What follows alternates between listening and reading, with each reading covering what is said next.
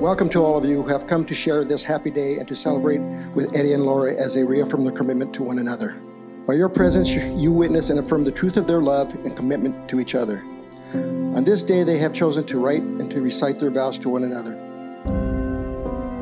My dearest Laura, from the first day I met you, I knew in my heart that I was destined to marry you.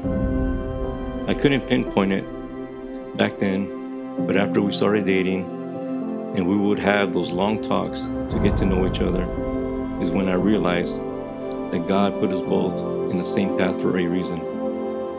I was a lost, broken man, but with your kind words, your shoulder to lean on, and the good that you see in everybody, even me, made me say, She's the keeper. From this day forward, I promise to be the best husband, dad, and grandpa that I possibly can. I promise to fight back to back against anything or anyone that tries to come between us. So after this is all said and done, people will come in and out of our lives. But one thing that will never change is us being together as lifelong partners. You would ask me, are you in it in a relationship, meaning our relationship my response to you was until the wheels fall off. I love you. I can promise you many things, but as, as we have personally experienced ourselves, promises are not always meant to be kept. And it's not because we want to break them intentionally, because the last thing that we want to do is, in, is intentionally hurt our loved ones. But what I can promise you is that I will be your co pilot in this next chapter of our lives. And I pray that your armor is fully intact because so many things tried to stop our wedding from happening this time around. There's only two things that that could mean. One, that God will be in control, and two, the enemy will continue to try to take us out. All the battles that we have fought before are nothing to what's ahead of us. So, Moko, I promise to continue to love you the same way God has loved me. If you're willing to continue this chapter with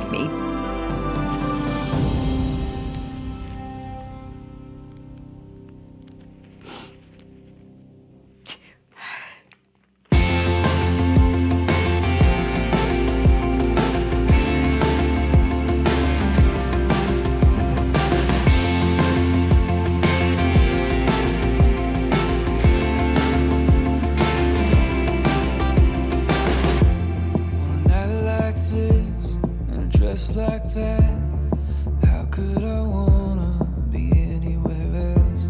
Got a heart of gold and a soul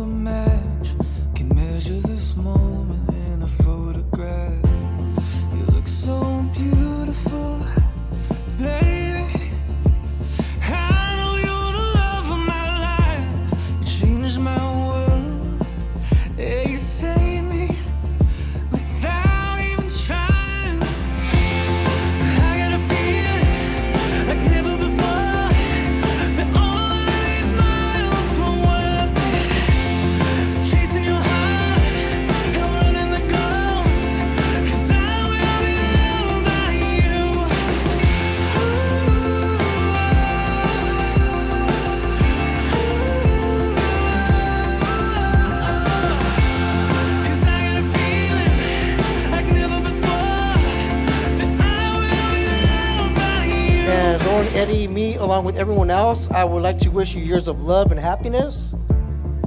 So please join me by raising your glasses and wish them both the best. Congratulations. I love you guys.